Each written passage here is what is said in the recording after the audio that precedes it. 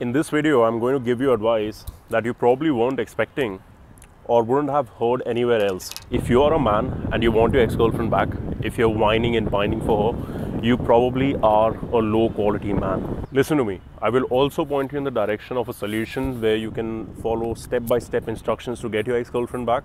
But listen to what I have to say first carefully. No woman ever dumps a high quality man.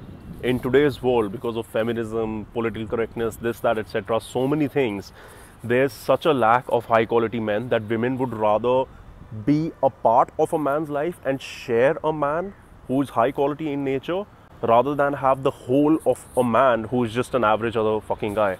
I want you to do some introspection and ask yourself what was the thing that drove her away? Are you a needy person? Do you have no purpose in life? Are you still, you know, displaying boyish tendencies even though you're an adult?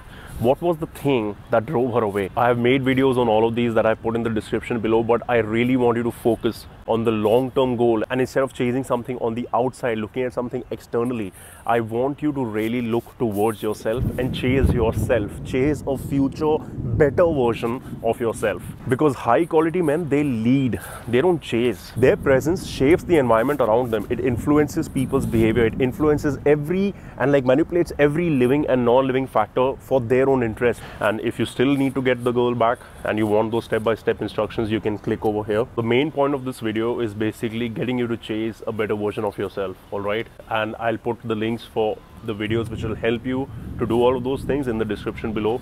But I just wanted to change your outlook, and I really hope that you're able to understand the long term vision that I'm trying to get into your head, all right?